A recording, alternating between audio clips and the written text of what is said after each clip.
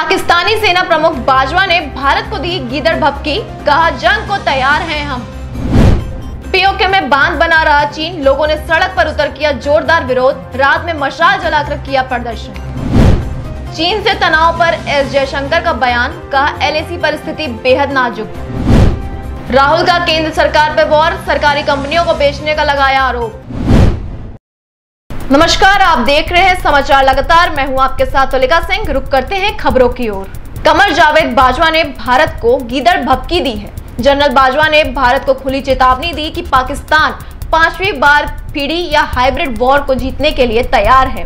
उन्होंने कहा कि पाकिस्तान इस समय कई मोर्चों पर चुनौतियों का सामना कर रहा है।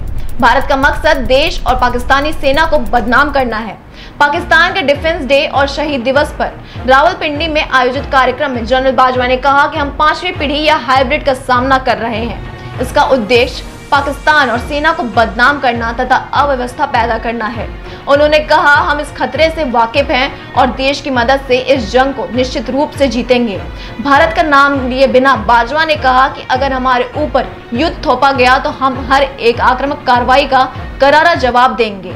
जनरल बाजवा ने कहा, मैं देश और पूरी दुनिया को एक संदेश देना चाहता हूँ कि पाकिस्तान एक शांति प्रिय देश है। लेकिन हमारे ऊपर अगर युद्ध थोपा गया है तो हम हर एक आक्रामक कार्रवाई का मुँह तोड़ जवाब देंगे। हम दुश्मन की घातक मंशा का जवाब देने के लिए तैयार हैं। पाकिस्तान की जवाबी कार्रवाई के इरादे के बारे में किसी का संदेह नहीं है। भारत के साथ 1965 की जंग में करारी खाने वाले पाकिस्तानी सेना प्रमुख ने दावा किया कि इस युद्ध में पाकिस्तान को जीत मिली थी। हाइब्रिड वॉरफेयर एक व्यापक सैन्य रणनीति है, जिसके ज़रिए दुश्मन देश में राजनीतिक युद्ध, मिश्रित परंपरागत युद्ध और साइबर युद्ध को अंजाम दिया जाता है। साइबर युद्ध में फेक न्यूज़ कूटनीति और चुनावी हस्तक्षेप के ज़रिए दुश्मन को प्रभावित करने प्रयास किया जाता है। भारत के खिलाफ हाइब्रिड वॉर छेड़ रखा पाकिस्तान अब भारत पर इसके लिए आरोप लगा रहा है। दरअसल पाकिस्तान, बलूचिस्तान और खैबर पंथुकवा इलाके में स्थानीय जनता के जोरदार विरोध का सामना कर रहा है। इसमें कई पाकिस्तानी सैनिकों को अपनी जान गंवानी पड़ी है। पाकिस्तान आरोप लगाता है कि भारत ऐसे विद्रोहियों की मदद करता है। पाकिस्तानी सेना को जन विद्रोह के और तेज होने का डर सता रहा है। बलूचिस्तान इलाके में चीन भी अरबों डॉलर का निवेश कर रहा है। चीन के मंसूबों को पूरा करने में पाकिस्तान की इमरान खान सरकार पाकिस्तान अधिकृत कश्मीर की जनता की आवाज़ नहीं सुन रही है। पीओके की राजधानी मुजफ्फराबाद में एक बार फिर से बड़ी संख्या में लोगों ने इलाके में चीनी की ओर से बनाए जा रहे विशाल बांधों का जमकर विरोध किया है। पीओके के लोगों ने टॉर्च रैली निकालकर नीलम झीलम नदियों पर बनाए जा रहे बांधों का विरोध किया। इससे पहले भी बड़ी संख्या में लोगों ने मुजफ्फराबाद शहर के अंदर जोरदार मशाल, जुलूस और विरोध मार्च निकाला था। पीओके के लोग नारे लगा रहे थे कि नीलम झेलम पर बाँध न बनाओ और हमें ज़िंदा रहने दो। प्रदर्शनकारियों ने कहा कि इन बांधों से पर्यावरण को बहुत नुकसान पहुँचा है। पाकिस्तान में ट्विटर पर hashtag save river, save AJK से लगातार लोग ट्वीट करके अपना विरोध जता रहे हैं। प्रदर्शनकारियों ने प्रशासन से सवाल किया कि आखिर किस कानून के तहत इस विवादित ज़मीन पर बाँध बनाने के लिए चीन और पाकिस्तान में समझौता हुआ है। उन्होंने कहा कि नदियों पर कब्जा करके पाकिस्तान और चीन संयुक्त राष्ट्र सुरक्षा परिषद के प्रस्तावों का उल्लंघन कर रहे हैं।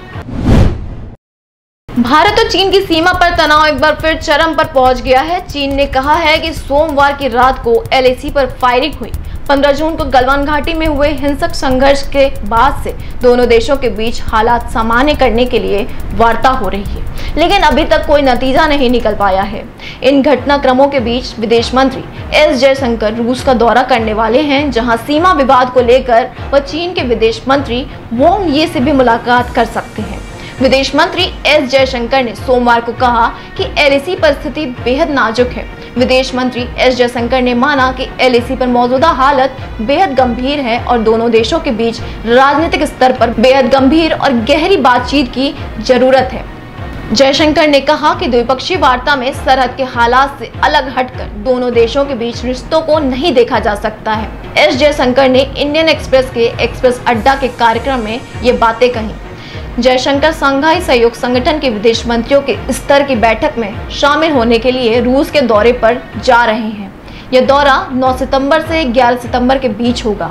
मई महीने में लद्दाख में हुए संघर्ष के बाद से रूस में चीनी विदेश मंत्री वांग ही से जयशंकर की पहली मुलाकात हो सकती है।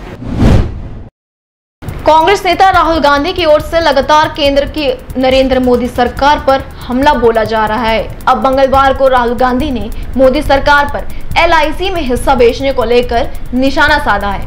कांग्रेस नेता का कहना है कि मोदी जी सरकारी कंपनी बेचो, मुहिम चला रहे हैं। राहुल गांधी ने अपने ट्वीट में लिखा कि खुद की बनाई आर्थिक बेहाली को भरपाई के लिए देश की संपत्ति को थोड़ा थोड़ा करके बेचा जा रहा है। जनता के भविष्य और भरोसे को ताक पे रखकर एलआईसी को बेचना मोदी सरकार का एक और शर्मनाक प्रयास है। दरअसल बीते दिन एक खबर सामने आई थी कि भारत सरकार एलआईसी में अपनी करीब 25 फ़ीसदी की हिस्सेदारी बेच सकती है, जिस पर राहुल गांधी ने हमला बोला है। इससे पहले भी भारत सरकार ने कुछ सरकारी कंपनियों में अपनी हिस्सेदारी को कम किया है। वहीं एयर इंडिया को भी बेचने की कोशिश की जा रही है। ऐसे में कांग्रेस लगातार इस मसले पर सरकार को घेर रही है। समाचार लगातार में आज के लिए बस इतना ही। बने रहिए हमारे चैनल आईबीएन भारत के साथ।